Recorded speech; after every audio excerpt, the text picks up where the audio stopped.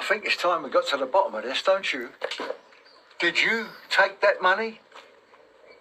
Son, you've been desperate for cash. Uh, I just. Want to look me in the eye and tell me it wasn't you? You know, I've been copping the blame for all this, don't you? I'm not angry. Just the truth. Please.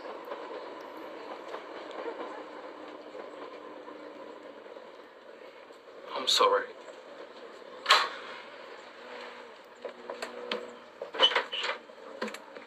Come on, kiddo.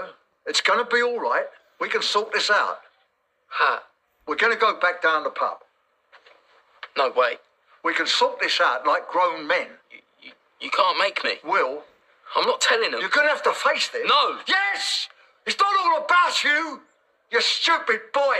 I stand to lose everything. Will, I'm sorry. I'm really sorry. I should never have lost my temper like. No, no, no, don't go. Listen, we can go down there together. Get I'll off come me. With, I'll come with you, and we'll explain. Get off me!